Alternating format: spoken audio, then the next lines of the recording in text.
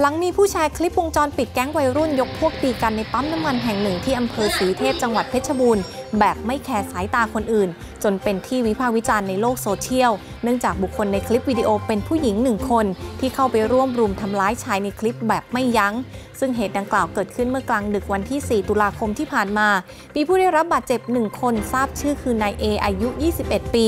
นำส่งโรงพยาบาลสีเทพไปก่อนหน้านี้ ล่าสุดตำรวจสพสีเทพอยู่ระหว่างการตรวจสอบกล้องวงจรปิดอย่างละเอียด เพื่อติดตามกลุ่มวัยรุ่นประมาณ 7 คนที่ก่อเหตุทั้งหมดมาดำเนินคดีค่ะ